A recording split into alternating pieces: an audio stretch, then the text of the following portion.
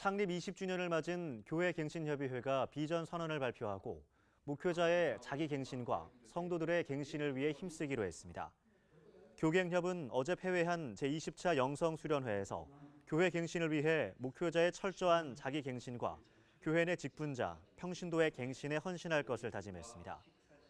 또 교회 갱신의 지속성을 위해서 미래 세대 목회자를 세우는 데에도 집중하겠다고 밝혔습니다. 한편 교갱협은 제11차 총회를 열어 2년 임기의 대표회장직에 현 이건영 회장을 유임하고 상임 회장제를 신설하기로 했습니다.